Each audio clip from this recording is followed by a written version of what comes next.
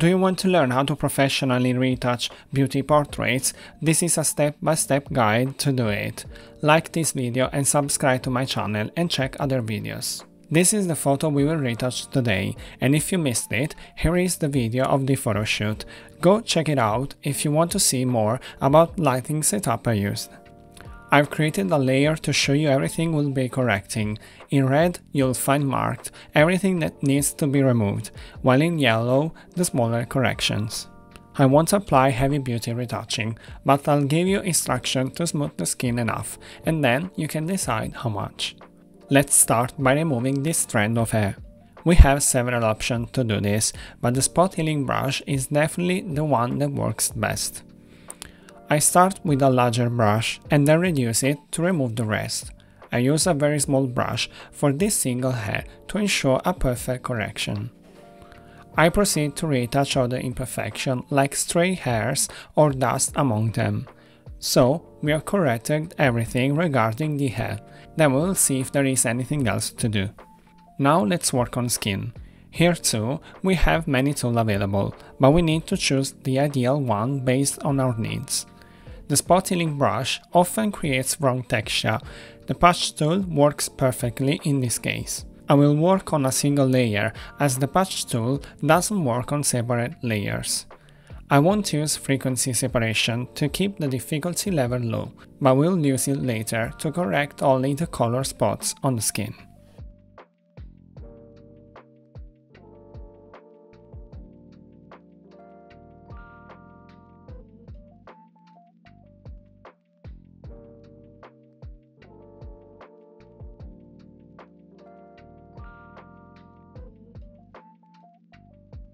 Once that's done, I proceed to correct smaller details with the spot healing brush, which works well in very small portions. So far, we've used the patch tool and the spot healing brush. Simple.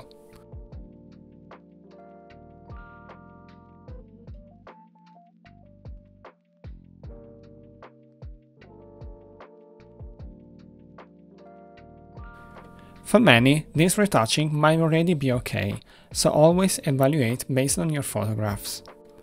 As I mentioned, to smooth out color spots, I use frequency separation. Let's see how.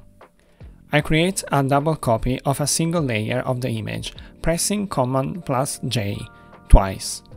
On the first copy layer, we apply a filter.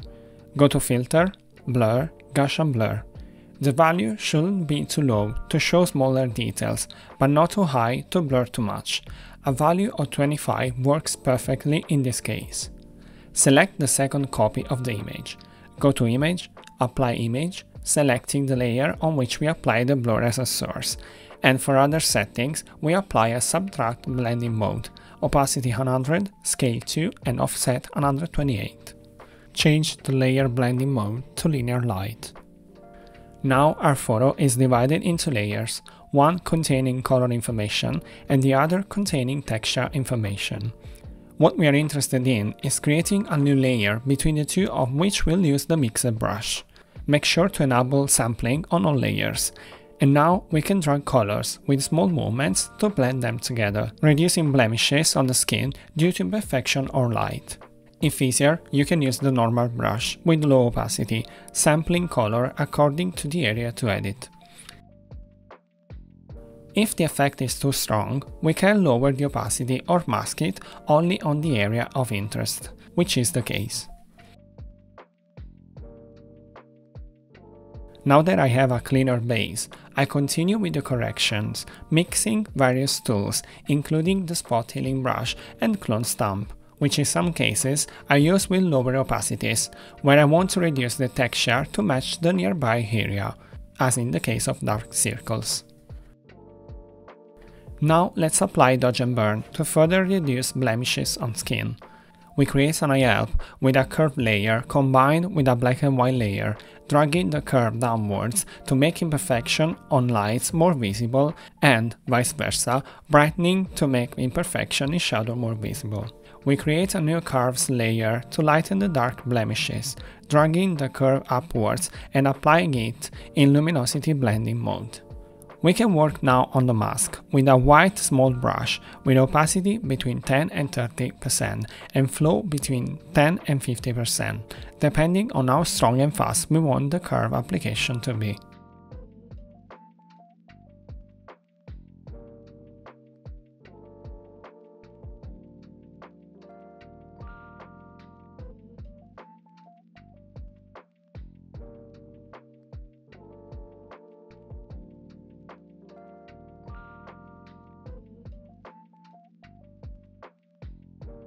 We do the same thing in the opposite way, in this case darkening the lighter blemishes. This way, we manage to even out the skin by working only on pixel brightness. The more precise you are, the more surprising the result will be, but it'll take a lot of time. Also, see how I can quickly correct lips and eye contours with this method.